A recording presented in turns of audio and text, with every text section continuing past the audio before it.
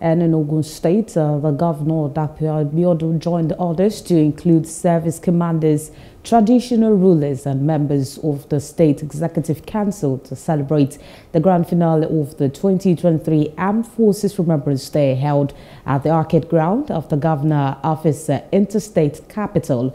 The solemn event uh, witnessed colorful parade by members of the armed force, the laying of red release of uh, pigeons, and the gun salutes and prayers for the fallen heroes, uh, global peace, unity, and national integration in Nigeria.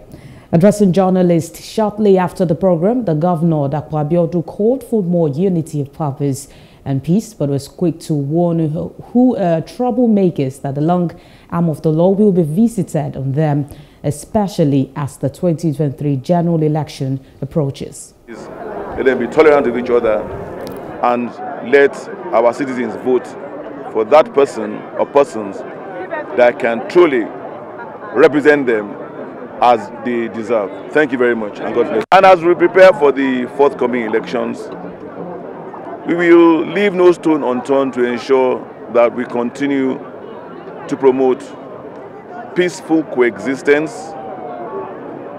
tolerance, inter-party tolerance, we continue to lower the political temperature. And anyone found wanting of any attempt to run foul of the law, irrespective of who they are, high, how highly placed they are, they will be dealt with to the fullest extent of the law. I hereby warn our parents to ensure that their kids are not used for any acts of violence or thuggery as prepare for the forthcoming elections. Let everybody go about peacefully. Let them market themselves and their parties.